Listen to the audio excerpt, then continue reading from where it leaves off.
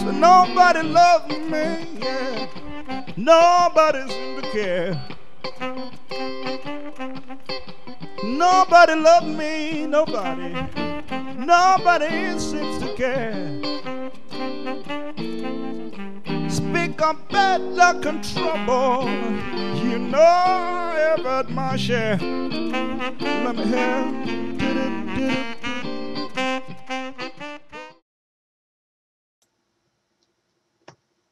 The Juno project is a mission to Jupiter that was launched in 2011 and that is flying toward Jupiter right now at the beginning of 2016 and will reach Jupiter later this year. We'll model the Juno trajectory in this video. But first we want to revisit the Apollo project to make a couple of observations and to pick up some programming tips. The top graph shows the Apollo rocket orbiting the moon graphed using the Earth-centered coordinates we used for the model and for the computations. But how does the rocket look as seen from the moon? We can plot the rocket's orbit around the moon in moon-centered coordinates, and that graph is shown below. How did we do it? Well, it wasn't, wasn't difficult. MATLAB was designed to make array manipulations easy so arrays can be combined as they're done in this plot statement where we subtract the moon coordinates from the rocket coordinates and we get the rocket as seen from the moon. Note that this is a sort of programming trick that's possible in MATLAB but isn't possible in most languages. And we don't use any programming tricks at all when we're doing the computations. But when it comes to plotting the graphs, all options are on the table.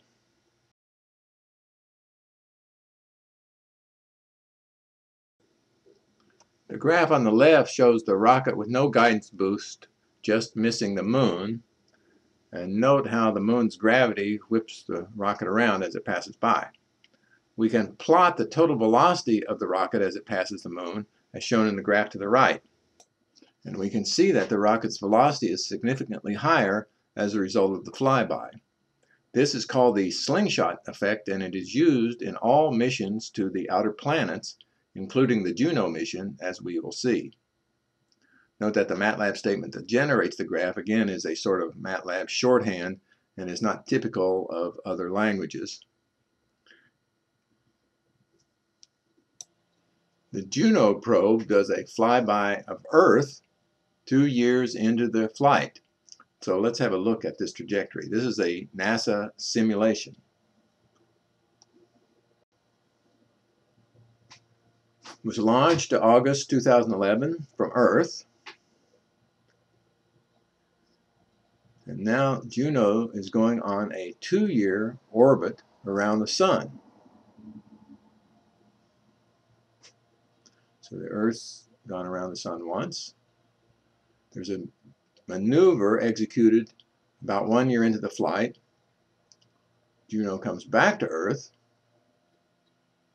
trailing it slightly, and then the slingshot effect accelerates Juno toward Jupiter and the flight takes three more years to reach Jupiter.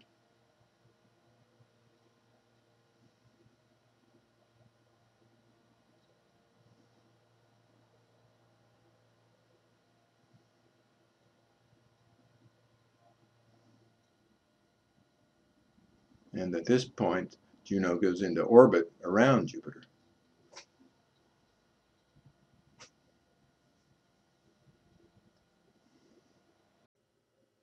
The Juno trajectory is similar to the Apollo trajectory we have just programmed in the previous project in that the rocket is launched and there is a long phase of unpowered, unguided flight. Then there is a brief guidance maneuver followed by more unpowered, unguided flight, and that's it. So the basic structure of the Juno program will be identical to that of the Apollo program. The first problem is to get the rocket into a two-year orbit around the Sun we can start with the Earth around the Sun orbit simulation and use this code without modification to generate the Earth's trajectory.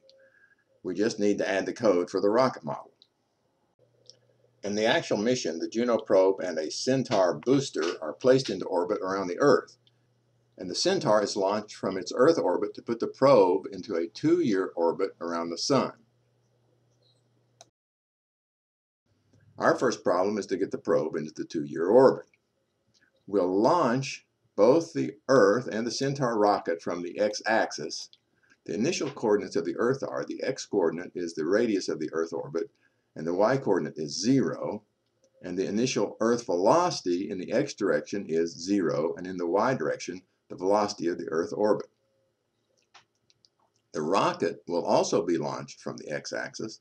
With initial position, the x position is the radius of the Earth orbit plus the radius of the space station orbit, and with an initial velocity calculated as the Earth's orbit velocity plus the space station's orbit velocity plus the launch velocity of the Centaur rocket, which is to be determined.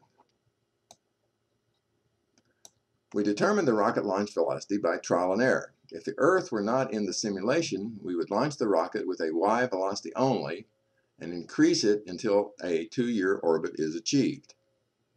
However, immediately after the rocket is launched, Earth's gravity pulls it toward Earth, and this disrupts the rocket's trajectory, and it is necessary to give the rocket a positive x velocity to counter the effects of Earth's gravity.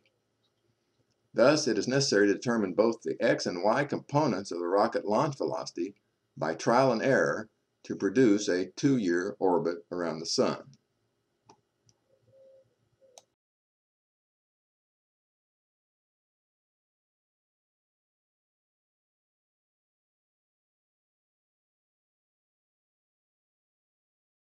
Once a two-year orbit is achieved, all that remains is to determine the guidance boost.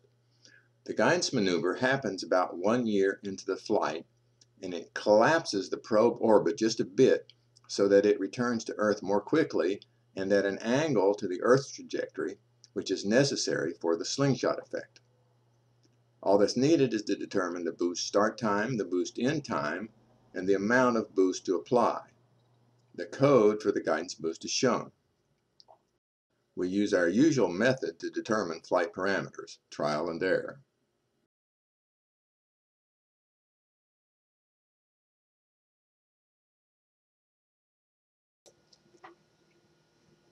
The primary problem of the assignment is determining the guidance boost parameters, and that will be aided if we keep track of the minimum distance between the rocket and the Earth. So we add a little code to do that. We initialize the minimum distance when we do the guidance maneuver, because we don't want to initialize before that. And then following the guidance maneuver, whenever we calculate the distance between the Earth and the Moon, we update the minimum distance if the calculated distance is less than the minimum distance thus far. And we also keep track of the time index so that we can graph the trajectory near the point of closest contact. Then, after the program has run, we can use this code shown at the bottom to graph the trajectory near the point of closest contact. That'll aid us in adjusting the guidance parameters to get the slingshot working. The code at the bottom of the page shows how the graph is generated.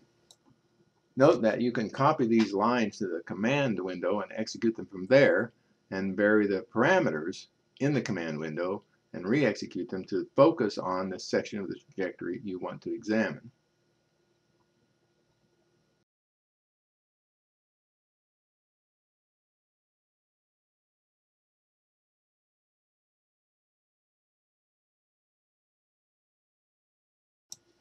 So let's see how it works. The top graph shows the Earth's trajectory in blue and the rocket's trajectory in red around the point of closest approach.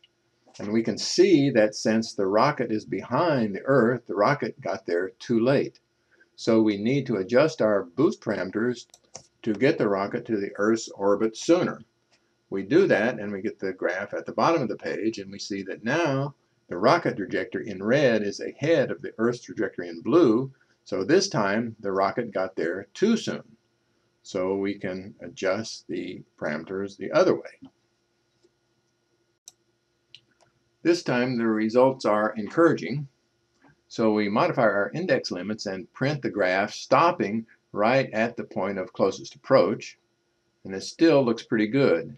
Now we'll switch to a longer view to see if we're getting the slingshot effect. And lo and behold, we did get a slight slingshot. So we continue to tweak the parameters going for a stronger slingshot effect and we get the graph at the bottom. We're not actually going to try to hit Jupiter. We're satisfied just getting a strong slingshot.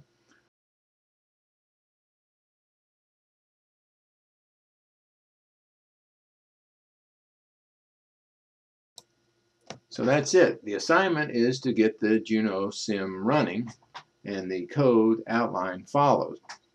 But first I want you to see something else.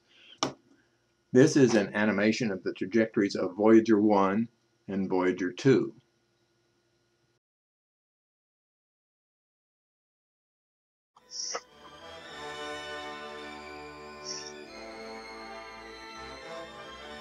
For NASA, this was too good an opportunity to miss. They announced a mission to the Giants called Voyager. It marked a new era for astronomers who had struggled to understand the hazy views they could see through Earth-based telescopes. The mission designer for the Voyager missions and many other probes to the outer planets was Charles Kohlhase, who works for the Jet Propulsion Laboratory in Pasadena.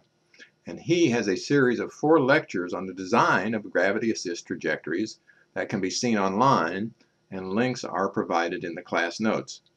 These lectures are not to be missed.